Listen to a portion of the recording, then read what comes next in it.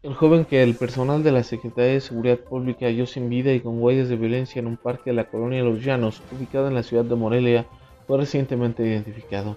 El susodicho había desaparecido el pasado viernes 2 de octubre, comentaron contactos allegados a las autoridades policiales.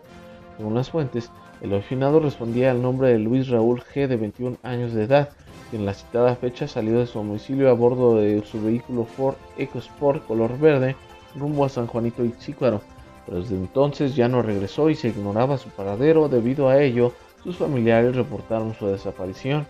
Fue durante la tarde del domingo cuando los oficiales de la Secretaría de Seguridad Pública patrullaban la colonia de Los Llanos y encontraron a un hombre inerte sobre la calle Universidad de Lima. Los uniformados, con apoyo de unos paramédicos, confirmaron el deceso del individuo y acoronaron el área para evitar la contaminación de posibles indicios. Luego avisaron a la Fiscalía General del Estado. Se supo que el finado se le apreciaron varias heridas de proyectil de arma de fuego y por lo tanto intervino la unidad de servicios periciales y escena del crimen cuyos especialistas realizaron las primeras investigaciones y trasladaron el cadáver a la morgue para la práctica de la necropsia de rigor, donde posteriormente la víctima fue reconocida. La fiscalía continúa con las diligencias respectivas a efecto de esclarecer el caso.